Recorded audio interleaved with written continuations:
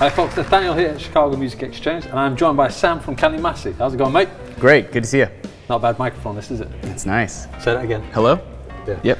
So, I'm going to give you five minutes to go around the shop and choose any three pieces of equipment that you like.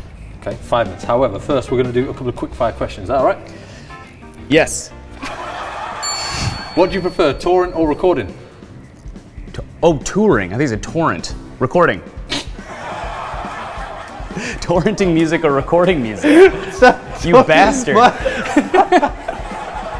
The accent strikes again. Uh, Jawbox or Jawbreaker? Jawbreaker. Kali Masi, name of a Star Wars villain or Game of Thrones character? Ah, Star Wars villain. Wrong answer. What? I don't like Star Wars. Okay. All right. Well, you're born May the 4th. I'm ba- born May the 4th. we're both, we're both born May the 4th, right? That's true. Will you please grow your hair out super long again? No, super long. I'll try. I'll- Super. yeah, like Super. past, past my belly button? Hey, steady. steady. Gotta show you my It's belly a family show here, man. right, best pizza in Chicago is? Pizza. Uh, Paulie Gee's. I would have said Jets, but Paulie Gee's will do. This is my. I get to answer the questions. This is for you. Okay, five minutes. It's gonna be a bloodbath. When I say go, okay? Three, two, one, toe. Good. I'm a good listener. Yeah, yeah. Three, two, one, go. Go, go. Oh! you got me. Ah, this place is too big for five minutes. Ah, this is so dope.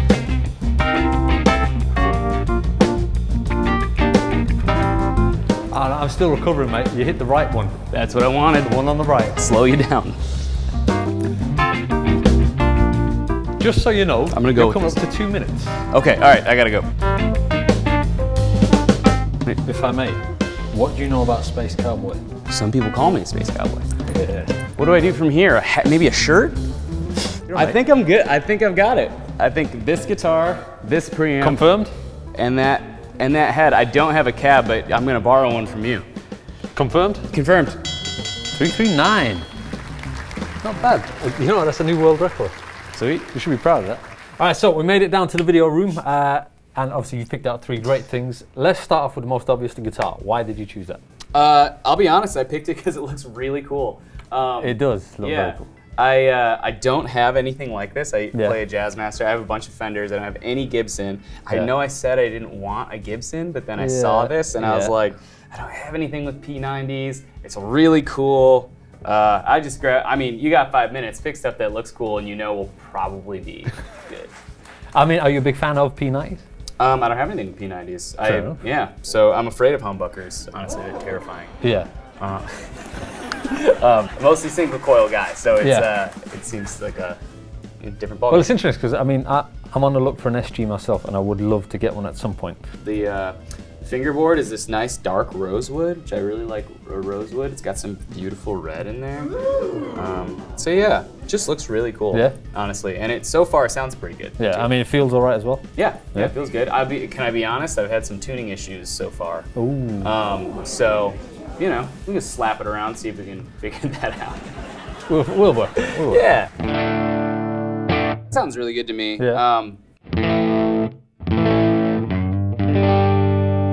neck is, yeah, it's beefy neck.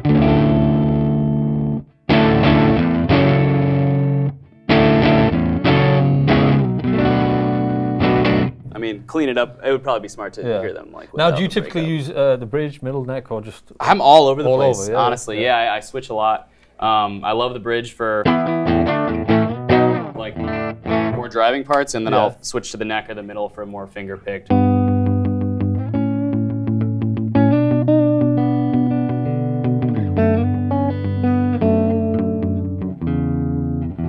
Yeah, sounds great though. I mean, I really clear. like the the, uh, the neck pickup. Mhm.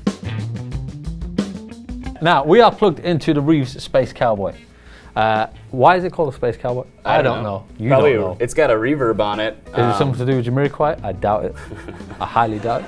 But it does have reverb on it. yeah. That's all that matters, right? Uh, yeah, well, I went for a little bit of utility there. I was just like, you know, I don't have a reverb in my three Yeah. items, but I have it here if I want. Yeah. Now, why did this one stand out amongst the others? It looks like a Hiwatt. Um, I, I imagine it probably is trying to be a Hiwatt. I don't know anything. Yeah. You don't know anything about Reeves. I don't know anything about Reeves. But it looks cool. Yeah. And this looks cool. Yeah. Uh, But yeah, I, tr- combo. I trust the aesthetic. Yeah. Uh, and it had a master volume. Yeah. um, which is nice. It's only 50 watt amp, which is good, so it's kind of light. Hmm. And it's got the master volume, which means I can get some breakup. I don't like Yeah. super, super clean, so I think Yeah. between the P90s and getting like digging into some like edge of breakup territory, Yeah, this is like a really good platform to put pedals in front of. Yeah. And uh, it looks nice on top of the orange uh, that you let me borrow. And it's got this nice, so the reverb has a send. So you can crank up the reverb and then like a mix control, which is nice. It's not Okay. just like a one knob verb. Um, Is it possible to hear that? yeah, you want to hear it? Yeah, let's have Okay, a little blast. so we'll See how it sounds. max max send Max minimum mix here.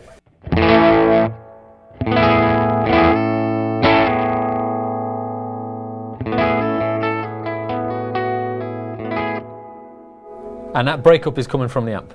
Yep, yep, that's all the amp.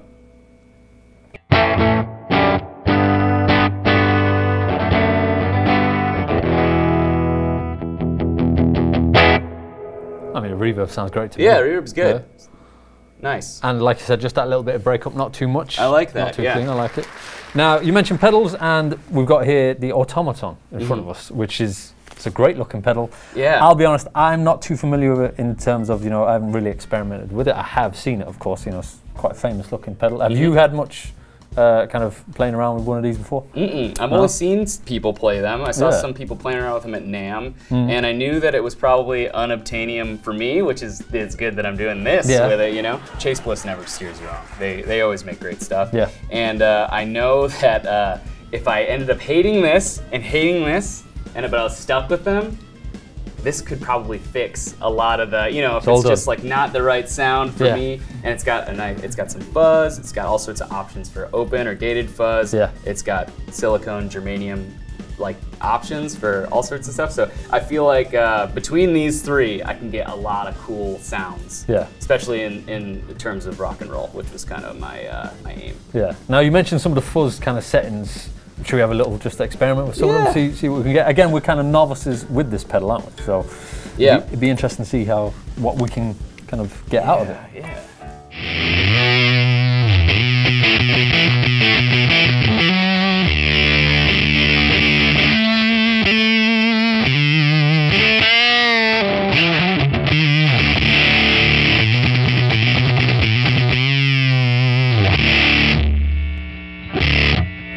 Sounds good. I, I, mean, some great sounds there to me. Yeah. I mean, a lot of obviously tweaking and stuff that you can do, but I mean, there's a lot of capability with just the fuzz alone on that. I kind of just maxed it out, yeah. honestly. But that sounded I, cool. I, I like the sound of that. yeah, you know? yeah. Uh, I mean, what else have we got in here? Is there just like a, a regular kind of overdrive on it? Yeah. Uh, let's see.